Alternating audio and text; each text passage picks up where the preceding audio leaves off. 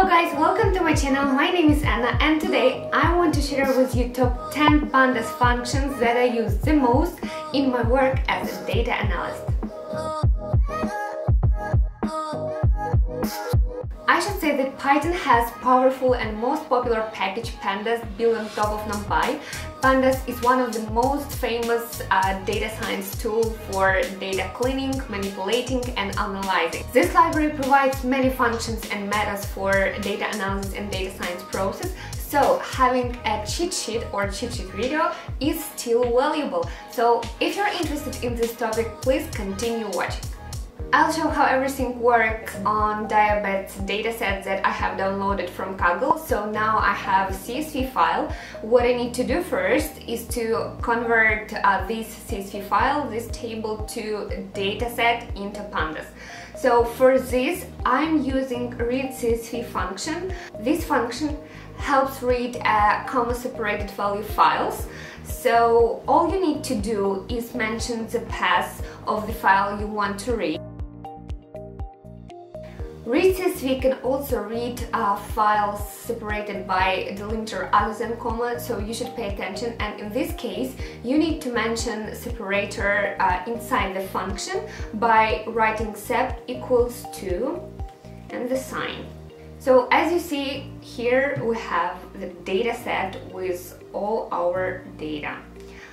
I should say the toCSV function works exactly opposite of read CSV. It helps us to write data contained in pandas data frame or series to CSV file. Okay, once we turn dataset into pandas data frame, we need to take a look at it. So the simplest way is to display several rows and the head uh, helps us to do that. So uh, helps us to display rows from the top of data frame. By default, uh, df.head returns the first five rows of data frame, but if you need more or less rows, you just need to mention the number of needed rows in the brackets. I should say that you are able to return bottom rows to display them. Uh, all you need to do is to use tail. It works exactly as a head. Also, we need to store data in an appropriate format, but how do we know the format of data in a dataset? For this reason, uh, we can use dtypes. So all we need to write is data.dtypes. Uh, for example, you need to apply some math function to a column, but it is an error that you can't apply this function to a series. So all you need to do is to change uh, and how to change the type. We're gonna use astype function. So we are able to convert an object type to category, our object to uh, float and etc. We're able to cast all columns, but let's change the type only for outcome column, which is integer now. Let's change it to category.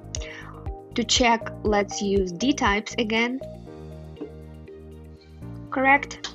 As you see, there can be NaN values in a data frame. Uh, typically, in a large data set, you will find several entries labeled none uh, by Python. So you may use fillna method to replace this none by the value they want. Uh, okay, let's replace none uh, with zero Let's replace none with median value of glucose column. For this reason, we need to write fill na data glucose column dot median. Next is value counts. This function returns a pandas series containing the counts of unique values. So if we apply this function to pregnancy column, we will understand the number of people for each pregnancy number. Okay, next let's talk about loc. It helps us to access a group of rows and columns in a dataset, a slice in a dataset per our requirement. For instance, if you want to access first two rows and three columns of a dataset, we can access them uh, with the help of the loc, writing Also there is iloc which works in similar manner to loc but it's not inclusive in both values so if we will write down iloc from 0 to 4 it would return as the rows with the index 0, 1, 2, 3 while loc from 0 to 4 will return rows from uh, with index 0, 1, 2, 3 and 4. Next is rename. This method especially useful when you're going to merge two tables and you need to uh, rename some columns to avoid ambiguity and this method is used to rename any index, columns, row. Let's rename column pregnancies to preg. Uh, so we are writing data dot rename columns pregnancy and preg.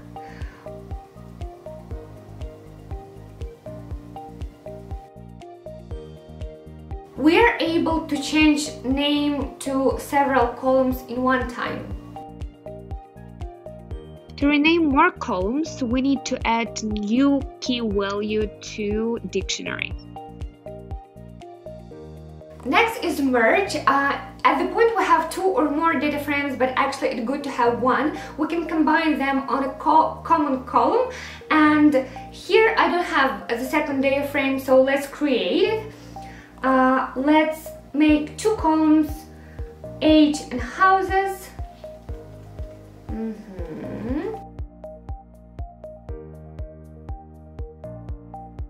and use merge to combine them if you're familiar with concept join in SQL, merge functions similar to that. For example, we can combine data, data frame A with data frame B based on specific type of combination, I mean inner, left, right, order or cross, uh, to create data frame C. So here, let's write the first data frame which is main uh, data dot merge. Next we mention the second data frame that we want to join.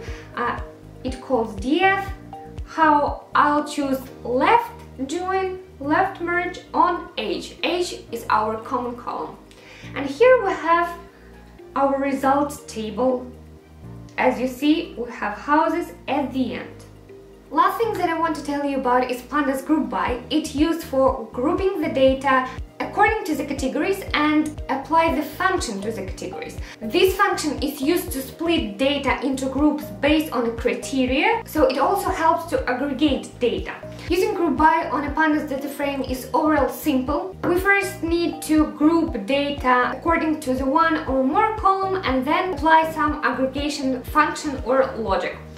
So let's find the average blood pressure for people under 30. So our main criteria in this case is age under 30. So first let's consider only this data.